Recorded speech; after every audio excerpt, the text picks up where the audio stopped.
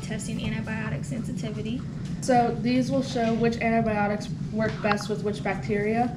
Like you test your different antibiotics on these bacteria and you'll see if it grows or not. So first thing you'll do is you'll take the tweezers out of the alcohol. You'll open the cap and you'll grab a tab out of there.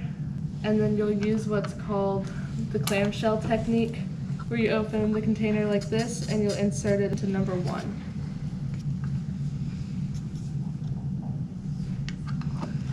Yep, and then you'll put the tweezers back in the alcohol. And again, so this will tell me if the antibiotic, Works against that certain bacteria. okay, very So good. How long will this lab take? Uh, we'll leave it in the incubator overnight, and then tomorrow we'll see if it grew or not, and if that antibiotic worked.